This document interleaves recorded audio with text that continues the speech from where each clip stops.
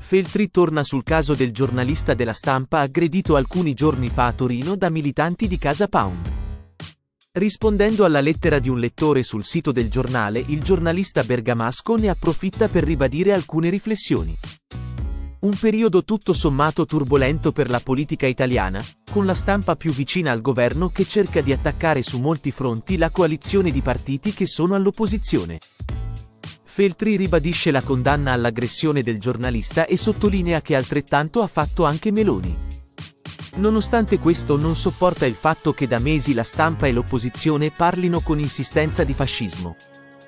Ogni occasione è buona, per una opposizione in crisi e priva di argomenti e argomentazioni, per criminalizzare un esecutivo nonché una maggioranza che dimostra di avere un grande rispetto dei valori democratici posti a fondamento di qualsiasi ordinamento civile e libero, scrive Feltri.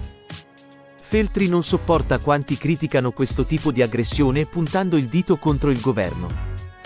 E aggiunge che non è tollerabile che a sinistra ci siano personaggi politici come Ilaria Salis, sotto processo fino a poco tempo fa in Ungheria.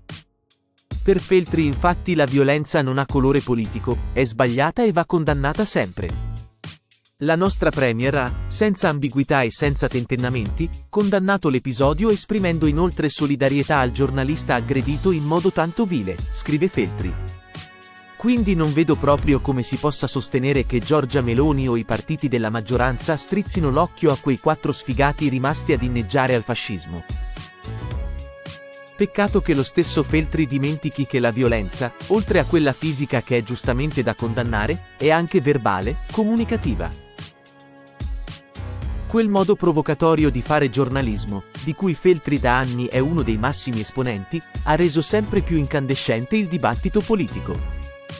Attacchi mirati e macchine del fango, costruzione di nemici, pubblicazione di dati personali riservati sono chiari esempi di questo modo di fare giornalismo.